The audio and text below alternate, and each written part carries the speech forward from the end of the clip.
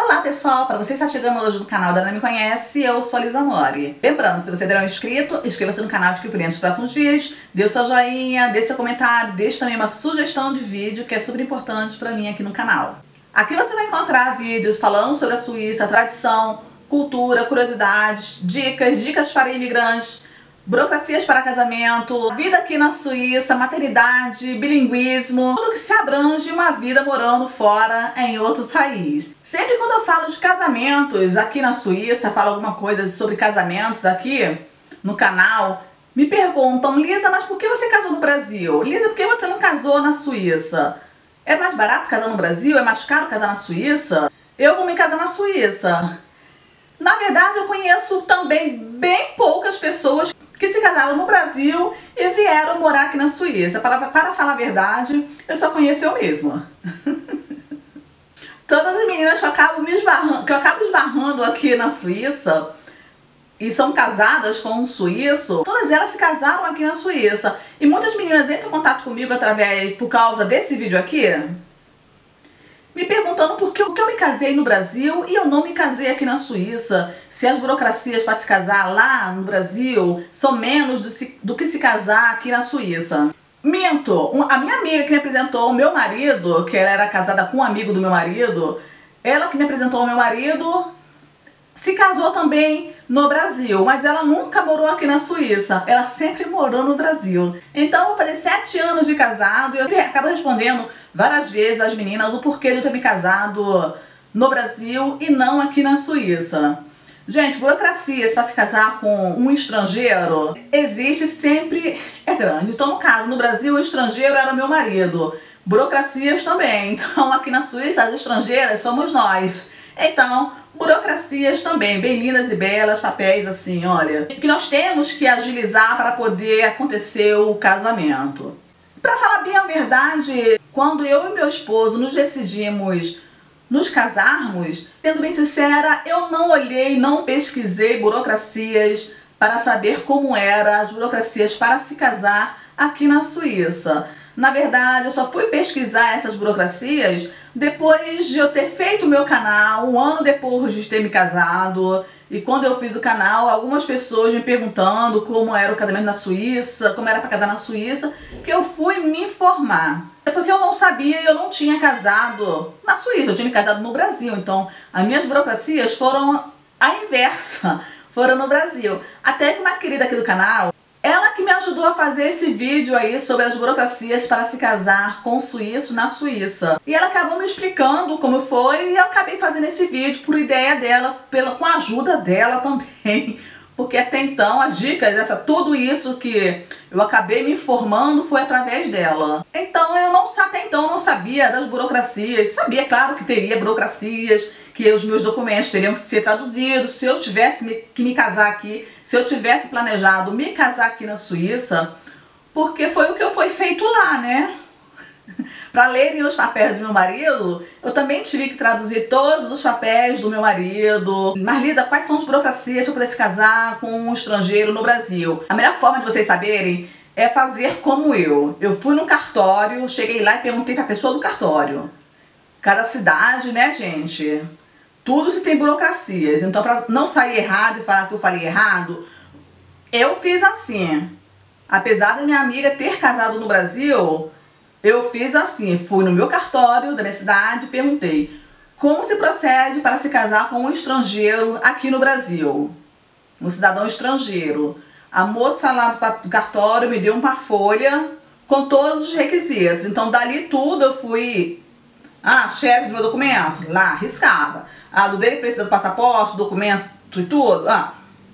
Então, lá no papel tá tudo certinho, então vai seguindo o que o seu cartório quer da sua região, da sua cidade, se você se decidir se casar no Brasil. Mas aí vem a questão, Lida, por que, que você se casou então no Brasil se as burocracias eram praticamente as mesmas?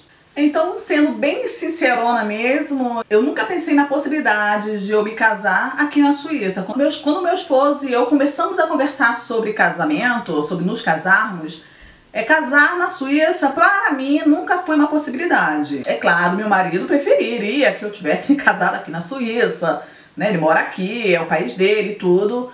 Mas do mesmo modo também que para mim seria importante eu me casar no Brasil, por eu ser brasileira, e minha família estar no Brasil e tudo, e depois eu ter que vir morar na Suíça, deixar minha família, minha mãe, meus sobrinhos, minhas irmãs no Brasil e vir morar na Suíça. Ele compreendeu perfeitamente como seria para mim importante nos casarmos no Brasil, eu tendo toda a minha família comigo, seria como se fosse uma despedida no momento de eu ver todo mundo juntos, que às vezes é difícil reunir família, né, gente? Sempre falta alguém. Então, nada como um casamento. Foi como se eu estivesse me despedindo, foi praticamente uma despedida de todos os meus tios, primos que moravam até mais longe da minha residência e até depois do meu casamento, até o momento de eu ir vir para a Suíça, eu não iria encontrar por morar longe. Foi por esse motivo que nos casamos no Brasil, porque eu nunca vi como uma hipótese eu me casar na Suíça sem a presença da minha mãe, dos meus sobrinhos, das minhas irmãs. E o curioso é que quando começamos a falar sobre casamento, seria só um casamento no civil. Não, seria, não teria nem essa festa, não teria cerimônia, nem nada. Seria só um casamento no civil e almoçar com a minha mãe e, o, e as testemunhas lá do meu casamento.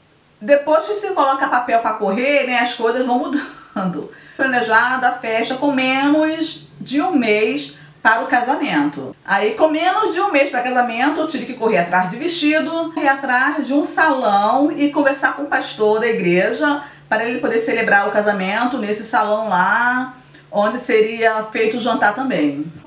Para um pouco dessa curiosidade que as pessoas têm, porque eu me casei no Brasil e não na Suíça, como normalmente as meninas que casam com suíços pedem um visto de noiva no Brasil para poder vir para cá e se casar, eu fui praticamente o inverso. Não foi nada relacionado a burocracias, não, foi como realmente eu falei. Eu não me via casando sem a presença da minha mãe. Então até porque eu já estava já com 30 e poucos anos, me casando pela primeira vez.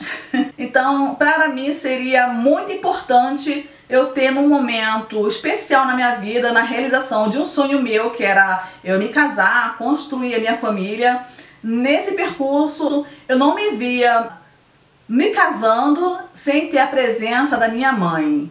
Então, isso eu não não me via. Tanto que para vocês terem uma ideia, quem me levou ao altar para eu me casar com o meu esposo foi a minha mãe a minha mãe que me levou ao altar para eu me casar com meu esposo.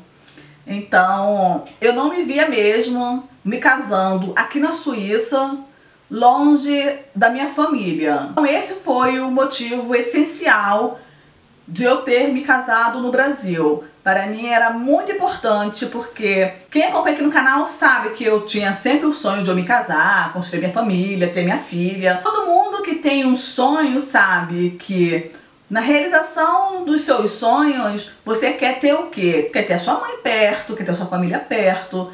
Então, para mim, o meu casamento foi a realização de um sonho. E nessa realização não poderia faltar a minha mãe. né? Assim foi feito. Eu me casei no Brasil, continuei no Brasil ainda até o consulado me liberar. O consulado me liberou um mês e meio mais ou menos depois com visto no meu passaporte de reagrupamento familiar para eu entrar na Suíça. Diferente de vocês, meninas que se casam aqui na Suíça, vocês vêm com visto de noiva e aqui chega, vocês têm um tempo para vocês se casarem, né? Não visto não vale mais vocês ficam ilegais aqui no país eu vim com visto de reagrupamento familiar e eu tinha, se eu não me engano, de 15 a 20 dias para me apresentar para a polícia de imigração para eu fazer os meus documentos aqui na Suíça, para eu poder fazer a minha carteira de identidade. Foi assim, praticamente igual a de vocês. Só que a diferença é que eu já vim casada. Só que tem uma diferença se casando no Brasil. Já está casada. Antes de liberar o nosso visto para poder entrar no país, então, até eu esperar o meu visto ficar pronto de reagrupamento familiar, o meu marido ficou esperando a imigração, acho que era a imigração, ligar para ele para poder marcar uma entrevista, para conversar com meu marido, como me conheceu, quanto tempo de namoro e tudo. Eles fazem uma entrevista com o esposo, no meu caso já era o esposo, para poder ver se não é o casamento para conseguir visto, para poder morar na Suíça, se não, se não é um casamento de fachada. Então tem tudo isso. Fazem uma pesquisa, conversam, investigam se o casamento é de fachada ou não. Então, tem vezes que vão até na casa visitar. O meu marido já não recebeu visita, foi pelo telefone. Mas já escutei casos que vão sim na residência para poder conversar com a pessoa, com o noivo, para poder olhar a casa, olhar tudo direitinho, conversar e tudo. No meu caso não foi preciso, eles só ligaram pro meu marido e perguntou se Perguntou tudo ao meu marido, né? Quanto tempo se conhece, não sei o que, ontem choveu, hoje fez sol. Poder saber se o casamento é de fachada ou não é de fachada. Não é realmente o casamento, é somente poder ah, dar legalidade para essa pessoa ficar no país de forma legal. Não é casou no Brasil e entrou no país. Não, não é isso. Casou no Brasil, espera um momento, consultar, entrada nos papéis no consulado, tudo direitinho para poder você conseguir vir para a Suíça. Você conseguir seu visto de esposa, né, que é um visto de reagrupamento familiar e você entrar no país. Então, pessoal, esse foi o vídeo de hoje. Eu espero que vocês tenham gostado. Eu estou no Instagram, arroba Lisamore, Vida na Suíça. Beijo, pessoal. Fique com Deus. Tchau, tchau. E até o próximo vídeo.